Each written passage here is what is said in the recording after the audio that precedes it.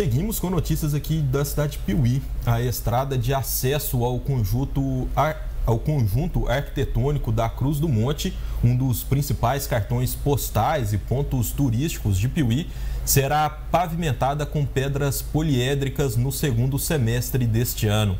A informação foi divulgada pela Prefeitura de Piuí e publicada no jornal Alto São Francisco. Atualmente, o trecho que dá continuidade à rua Horácio Albertini, no bairro Cruzeiro, não tem nenhuma pavimentação e, por isso, provoca transtornos, seja com a poeira na época da seca ou com buracos e barro na época das chuvas.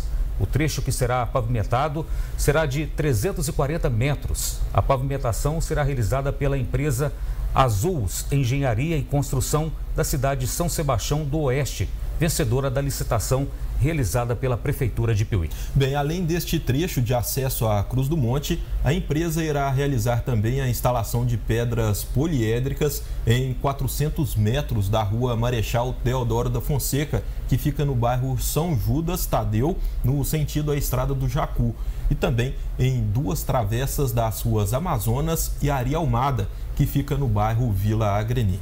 Nessa semana, os vereadores Carlos Leonel, Fábio Tulim, João Marcos Macedo e Reinaldo dos Reis solicitaram para a Prefeitura a revitalização, limpeza e pintura das escadarias da Cruz do Monte, bem como a construção de banheiros públicos no complexo, que é muito utilizado pela população, seja para o turismo, atividades religiosas e práticas esportivas.